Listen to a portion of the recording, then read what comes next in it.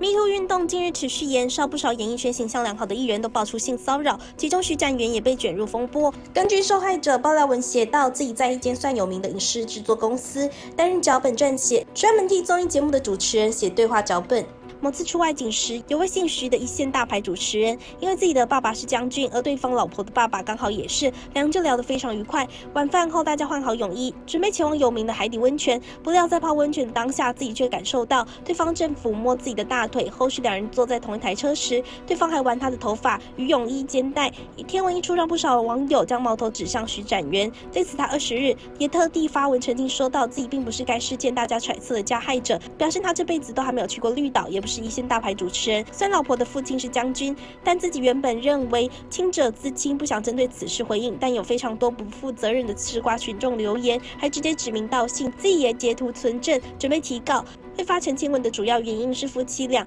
深知传播行为会导致三人成虎，颠倒黑白。况且爆料者后续没有直接说出加害者的姓名，对方也没有公开自己承认犯行，或是给爆料者封口费，该事件就没有后续了。那自己不发文澄清，不就永远都会被怀疑？最后更直呼自己坚决反对性骚扰，但请勇敢爆料者直接说出加害者的名字，一枪毙命，不然被波及无妄之灾的人来说也是一种伤害。